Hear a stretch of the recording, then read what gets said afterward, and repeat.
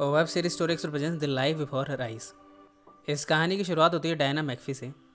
वो high school की student है, बड़ी कल्पनाशील है, ख्यालों की दुनिया में रहती है कभी कभी बड़ा रैश बिहेव करती है। इन सब के साथ ये बड़ी वाइल्ड है। उसे अपनी एडल्ट लाइफ शुरू होने का बड़ी बेसब्री से इंतज़ार है। आजकल वो अपने हाई स्कूल के ख़त्म होने का इंतज़ार कर रही है। धूम्रपान करते हुए अपनी दोस्त के साथ बैठी है। बाद में डायना की माँ आकर उसे ले गई। अगले दिन जब डायना अपनी फ्रेंड मॉरिन के साथ वॉशरूम में थी, तब इन दोनों ने कुछ आवाज़ें सुनी। दोनों डर गए। तभी वॉशरूम के एक हिस्से में माइकल गन लिए निकला। उसने किसी को मार दिया है। इसके बाद हम देखते हैं कि स्कूल में मास स्केल पर किलिंग हुई है। चारों तरफ़ लाशें हैं। इस समय डायना की माँ उसे ढूंढते हुए डायना डायना चिल्ला रही है। तभी डायना स्कूल की बिल्डिंग से निकलती है। कहानी अब इन सबसे काफ़ी आगे निकल चुकी है। अब डायना बहुत बड़ी हो गई है। वो एक यूनिवर्सिटी में हिस्ट्री प्रोफेसर है।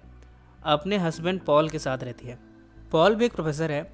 डायना जब स्कूल में थी, तब उसके स्कूल में पॉल ने एक स्पीच दी थी। वो स्पीच पावर ऑफ़ विजुलाइजेशन के बारे में थी।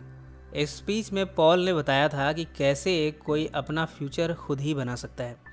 डायना की एक बेटी है एमा एमा को देखकर डायना बड़ी खुश हो जाती है। कई बार जब एमा खाने के टेबल पर कुछ खा रही होती है, तब डायना उसे देखती रह जाती है।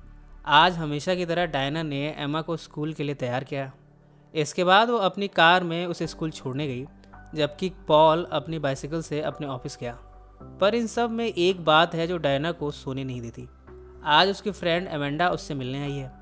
एमेंडा ने बताया, बेथनी ने मुझे कहा है कि एमा को स्कूल में फिर से ट्रबल हो रही है। यहाँ इनकी बातों से हमें पता चलता है कि डायना स्कूल के दिनों में किसी लड़के के साथ वायलेंट हुई थी। डायना को अरेस्ट भी किया गया था। इसके बाद हमें दिखाया जाता है कि किस तरह डायना उस लड़के को किक मारती है। उसके बाद उसे पुलिस स्टेशन जाना पड़ा था। कुछ दिनों बाद मॉरिन ने डायना को ड्राइविंग सिखाई थी। दोनों की दोस्ती बड़ी गहरी थी। दोनों एक दूसरे के लिए जान भी दे सकती थी। साथ में दोनों स्विमिंग और वेकेशन मनाने जाते थे। प्रेजेंट में जब डायना अपने स्कूल के पास से ड्राइविंग करते हुए जा रही थी, तब उसे स्कूल टाइम के विज़न दिखे। कुछ लाशें दिखी। उसे याद आया कि तरह उसने चारों तरफ़ लाशों को देखा था। एक दिन एमा के स्कूल से डायना को एक फ़ोन आया है। नन जो कि स्कूल को चलाती है, उन्होंने डायना को बुलाकर एमा के बारे में कंप्लेन की। एमा अक्सर क्लास से गायब हो जाती है। उसका बिहेवियर बाकी बच्चों की तरह नॉर्मल नहीं है। फ्लैशबैक में दिखाया जाता है कि पंद्रह साल पहले जब माइकल गन लिए खड़ा था, तब उसने कहा था, मैं तुम दोनों में से किसी एक को मारूँगा। तुम दोनों डिसाइड कर लो कि किसे मरना है। उस समय मौरी ने कहा था कि वो अपनी जान देने को तैयार है। इस पर माइकल ने डायना से पूछा था तुम क्यों नहीं मर सकती? इधर प्रेजेंट में डायना एमा को आइसक्रीम खिलाते हुए कहती है, तुम्हें स्कूल में ऐसे छिपना नहीं चाहिए। एमा ने कहा, आप हमेशा मुझसे नफरत करती हो। आप मुझे पसंद ही नहीं करती। डायना ने उसे समझाने की कोशिश की। अचानक से दोनों यहाँ से जाने लगे। जब डायना कार में बैठने को थी, तब उसने पॉल को किसी और लड़की के साथ देखा। डायना पॉल को कन्फ्रंट करने में हेजिटेट कर रही थी। वो स्ट्रीट के बीच में खड़ी थी। यहाँ एक ट्रक आकर उसे हिट कर देता है।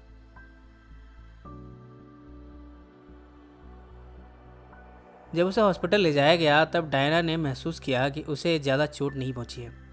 इस समय डायना को अपना स्कूल टाइम याद आया जब वो अबॉर्शन कराने को थी।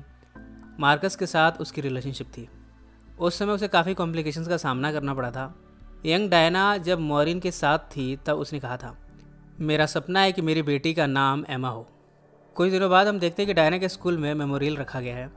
और शूटिंग है जिसमें कि कई लोग मारे गए थे, उसके पंद्रह साल पूरे हो गए हैं। डायना फूल लिए स्कूल के अंदर जाती है।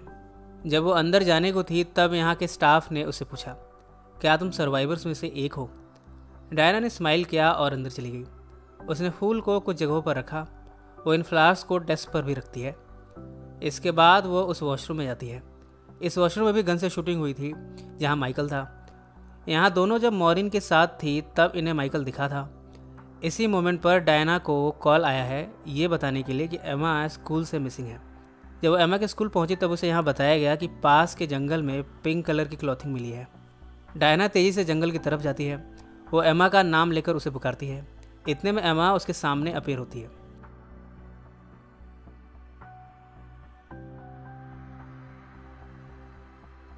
उसके तुरंत बाद ही वो गायब भी हो जाती है। इसके बाद हमें फ्लैशबैक में ले जाया जाता है।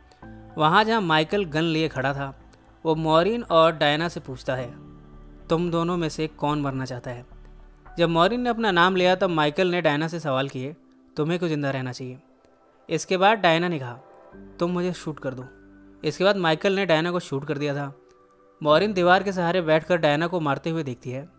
तभी प्रेजेंट में हमें डायना एमा को जंगल में ढूंढते हुए दिखती है, जबकि फ्लैशबैक में हम देखते हैं कि मरने से पहले डायना अपने फ्यूचर का सपना देख रही है।